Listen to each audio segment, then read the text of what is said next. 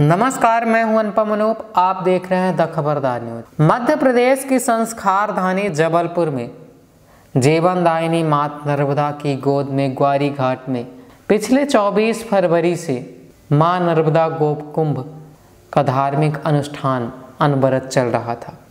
और तीन मार्च को भक्ति के इस संत समागम का समापन होने वाला है। इस अवसर पर भक्ति में हुए भक्तों का अद्भुत जवाबड़ा नर्मदा के तट पर देखा गया और आयोजित मेले में कहीं पर लोग अपनी दैनिक उपयोग की वस्तुएँ खरीद रहे थे तो कहीं फ़ूड स्टॉल पर अपने मनपसंद चीज़ों को खा रहे थे।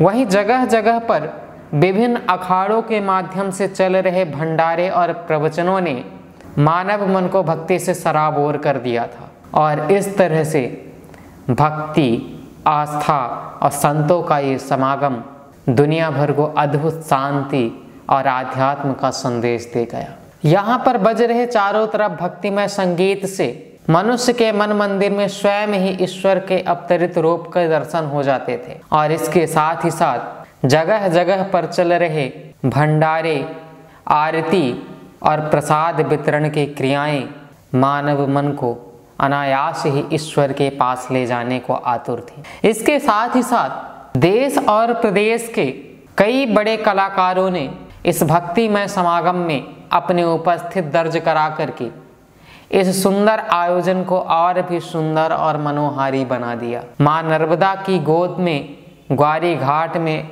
आयोजित इस संत समागम में हज़ारों संतों ने अपनी उपस्थित दर्ज कराई। हज़ारों भक्तों ने गंगा, कावेरी, यमुना की तरह ही मध्य प्रदेश की जीवन जीवनदायिनी मात नर्मदा की गोद में डुबकी लगा करके अपने जीवन के पूर्ण फल को प्राप्त करने की चेष्टा की। तीन मार्च को आयोजन की समाप्ति पर रात्रि में कैलाश खेर के द्वारा भक्तिमय संगीत की प्रस्तुति उनके बैंड कैलाशा के साथ दी जाएगी। अगर अब तक आप इस भक्ति में संत समागम में नहीं पहुँचे हैं तो जाइए और मनोरंजित होइए, आनंदित होइए। भक्तिमय होइए संतों के साथ आस्था के इस महाकुंभ में, माँ नर्मदा गोकुंभ में। अधिक जानकारी के लिए बने रहिए द खबरदार न्यूज़ के साथ। देखते रहिए द खबरदार न्यूज़। नमस्कार, धन्यवाद।